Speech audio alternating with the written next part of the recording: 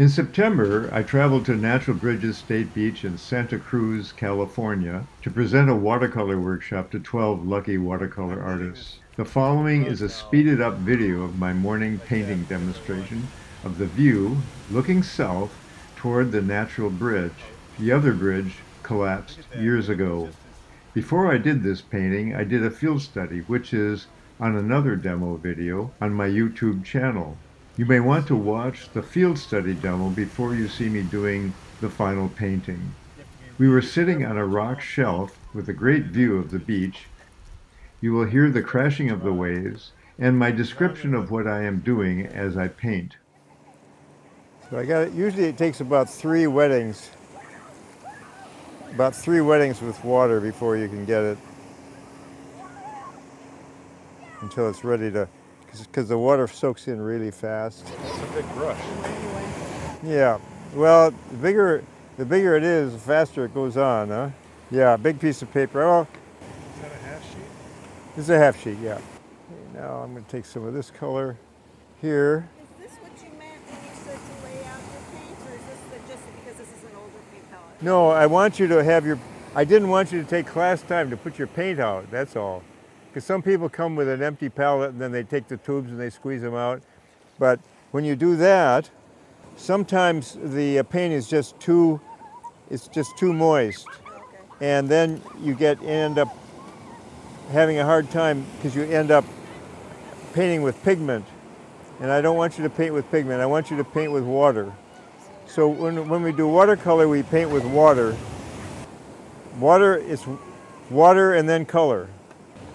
So I'm trying to get this, um, I'm trying to get enough water and color on here so that I can, okay, let's see what we can, let's see what we can do here. Oh boy. So what happens in the sun, things dry really fast here in the sun. I'm, I'm letting this run now. Let's see what that does. If I, you have to be really careful that you don't paint on it after it's, after it starts to dry. So now I'm going to let, see if I can get it. See, look at that, see? Now, I have to be careful. I kind of like that, but I kind of like that running down like that. I, I like that, what's happening there. See how it's coming down? I like, I like like that. Yeah. And over here, I said I like that. Now try to do that. Try to do that on purpose. I am doing it on purpose. what do you think? this is on purpose. Oh, that's nice. Oh, I like that. I'm gonna just I'm gonna just continue to let that go, and like that. Okay, so now I'm gonna stop here, and I'm gonna take my my Chinese brush. See, I have to get my rag here, and I'm going to come in and with the point of the brush now, I'm going to try and just, just taking off my drip. I like this right here where it's white. There we go.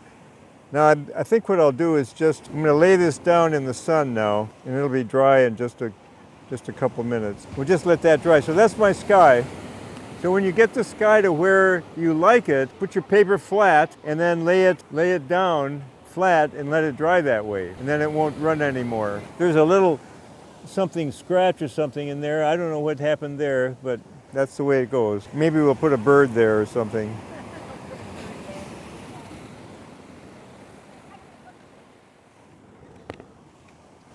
The sky. Is that going to determine the colors that you use on the rocks and the? Uh... Um, I'm trying to use it kind of the same colors that I used in my field study. The question is, does the sky help me determine the colors I'm going to use in the painting? To some extent, yeah. And in the water too, I'm going to use I'm going to use the same blue in the water, but I'm going to I'm going to be uh, putting some green with it. Now, when you determine this area, sort of the wet sand. This is going to be white in here, and then some sand over here, and this will be some gray, some of that gray area right there. So the gray. Are you going to mix in a grayscale with some with some of these colors, or just? ju- I'll just mix the gray with uh, with cobalt blue and probably burnt sienna. Yeah. Forgot. I forgot to tell you I was. So,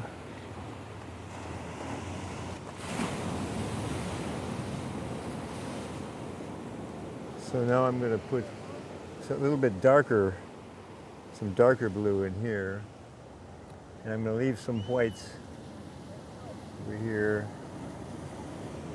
where it's hitting the rock over here. And this one here, light coming in there. Here.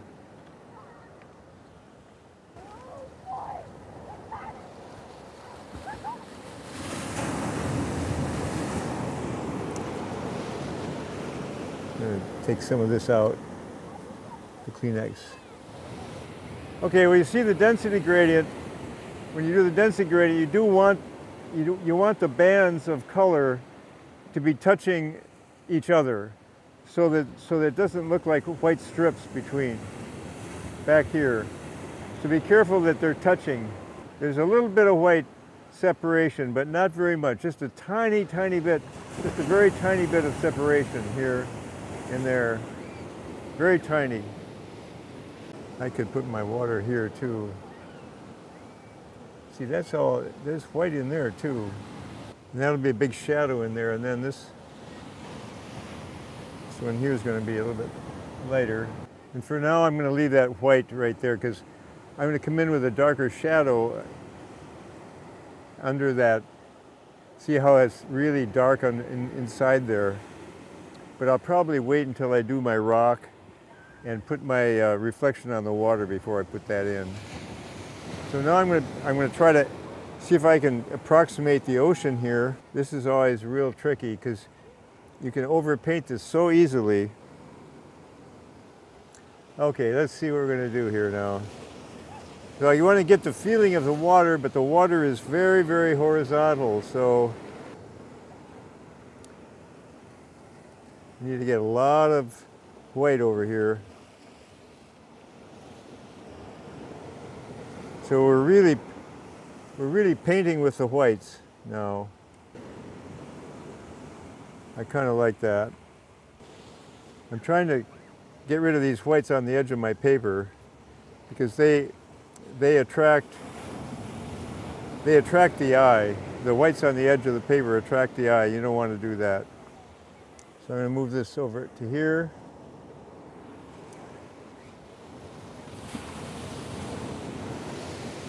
Okay, let's get rid of this white over here. I like that so far. I don't like this piece right here. I'm going to fix that.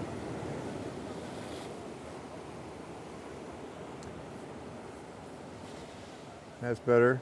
I think I'm going to stop with the water there and just uh, the rest of it, this part is all going to be uh, sand and, and gray tones and, and water puddles.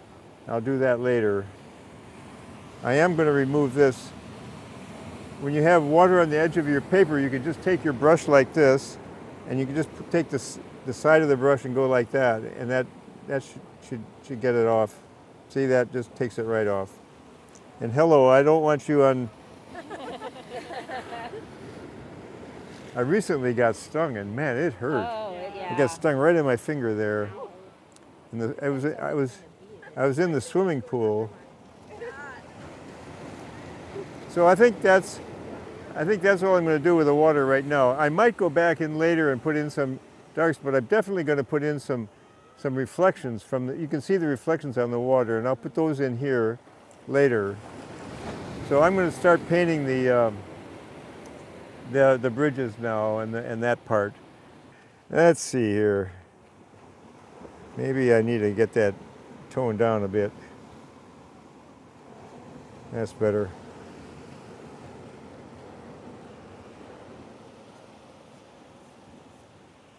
I may I may go back over this later because it's a bit it's a bit light.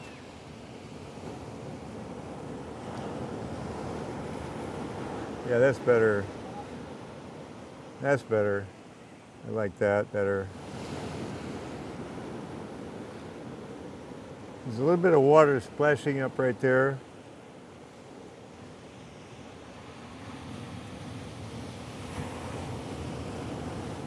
to have the water coming in there. See, just gets some water lapping up against that.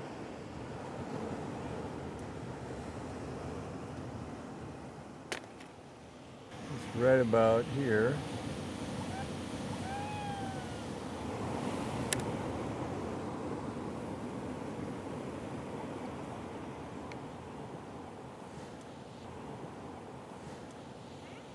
That's that. And then you, with this brush you can get these textures.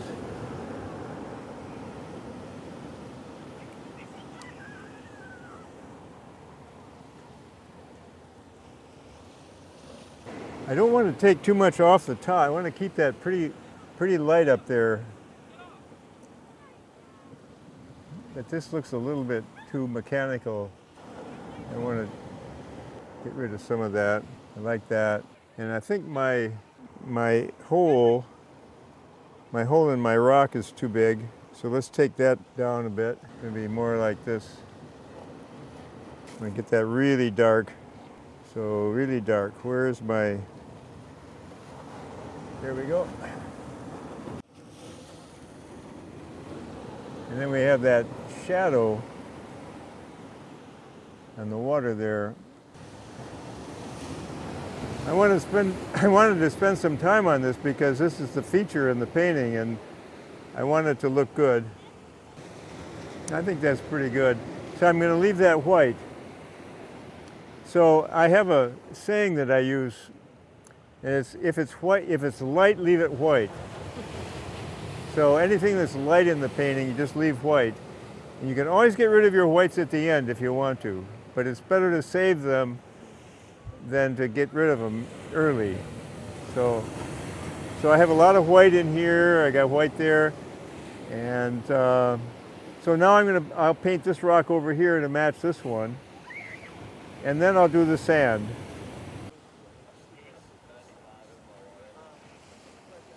This angle, you have to be careful on the beach. See on the on the beach, it's got this angle, then it comes kind of down flat here. Got to be careful of that angle. Boy, these uh, yellow jackets or whatever, they really like my painting. Notice that I don't rinse my brush very much. I went, I just went to get some green. And I didn't take the paint off my brush. I just went to get some green, and I, you don't have to keep. I see a lot of people mixing, rinsing the brush, rinsing the brush, rinsing the brush after every for every single color that you use but I don't bother to do that. I don't think it's necessary. So what if the color I have on the brush already gets in with the other color? It just makes it just makes a better painting that way. There I got, got my little green up there. Now I'm going to put some more of these shadows in here.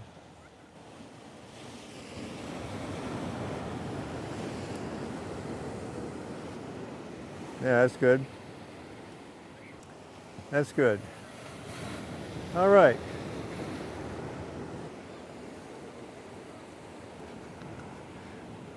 All right, some sand, huh? Get in touch with that sundown fellow as he tiptoes across the sand. He's got a million kinds of stardust Pick your favorite brand and dream when you're feeling blue.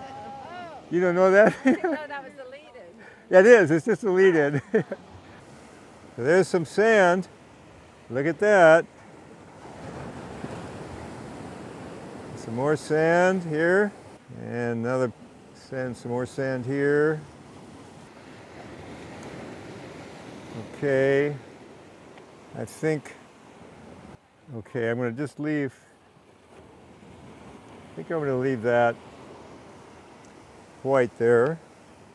Lots of white coming in there. And then I have to get some of this gray, gray stuff in here, don't I? So let's get some gray in here. So I'm using uh, cobalt blue and burnt sienna. To make my gray. And let's see, just gonna come right up to the, so I got water coming in here and then she, and then it comes out and it's, oh man, it's so nice, but, but how to paint it?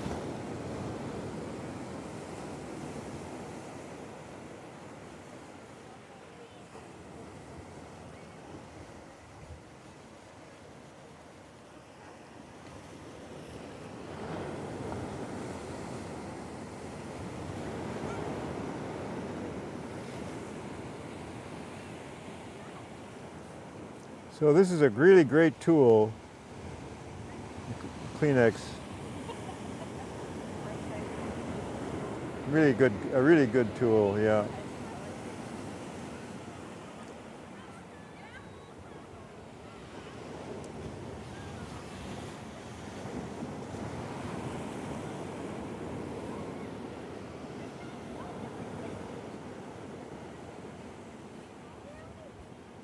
So one of the tricks to painting watercolor is to have your paper tilted up. If your paper tilted up, you almost it just paints itself. So that's the uh, reflection on the water. I want to get rid of that puddle right there.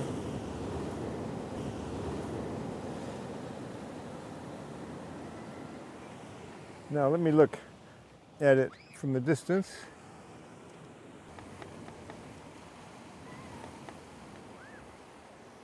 I need to get some more dark in here. Let's see how that looks. That's better. Maybe some up in here.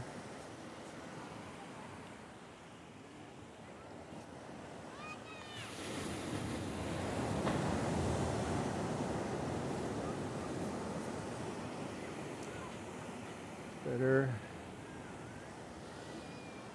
Get rid of this drip here. I think I'll stop right now and uh, let it uh, let it kind of just take a break from it. I'm gonna one thing I'm going to do here is I'm going to take out, take this out. Yeah, and I think I'll, I'll also take some of this out here. And then I'm also going to take some out in here too. I like the softer, I like those soft edges there. I like, so this right here, I want this to be a soft edge here. See, that's nicer, this, the soft edge like that. And then maybe a little bit of softening right here too. When I did these, I thought it's a little bit hard. I thought, so I like that better. Maybe a little bit more in here. There, that's better. I like that better. And then here, see how you can do that? You can just, so I like that better now. I'm just trying to get it so it's almost ready for a new piece of Kleenex.